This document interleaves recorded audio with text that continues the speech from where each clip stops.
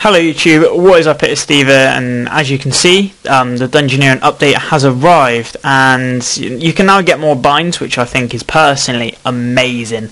They did it today and I just tried a little dungeon with my friend Luke. We did a dungeon together earlier, and it, it kind of went quite quickly. I think it was like a four or five minute floor, and it was just a small, just to try and test out what it was.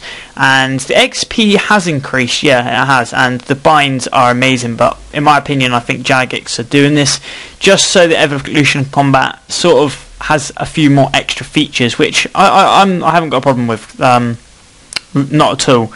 I think I'm going to quite enjoy doing Dungeoneering with more binds now. It'd be a lot easier and get a lot lot less deaths. Because my friend, as I'm doing a dungeon with here, he got 120 about a week ago, and I think it's going to kind of kind of piss him off because it took him like three months, but now the XP's like increased and things are such like that. So I think like yeah, I think Jagex are kind of like done this at a wrong time. I think they should have done this a bit earlier on. But yeah, great. I mean it's great, but still not looking forward to the evolution of combat as you can get dual rapiers and things like that now.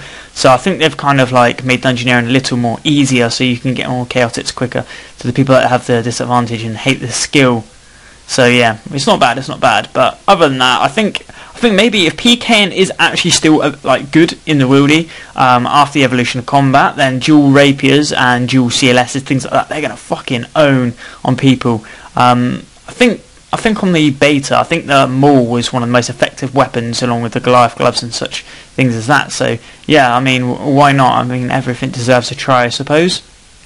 And as you can see here in this clip, where I'm doing a little dungeon friend, um, that I am totally, I'm so shit at dungeoneering. I'm, I'm, I managed to like survive this little bit here, and it just turned out really well because I've got my overloads ran out. But yeah, anyway. Um, that's all I can really say about today. Really, is that the evolution of combat is not far away. It's a week today.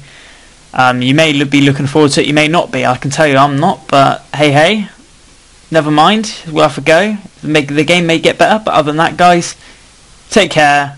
Leave a comment if you've tried Dungeoneering and what you think of it. Peace.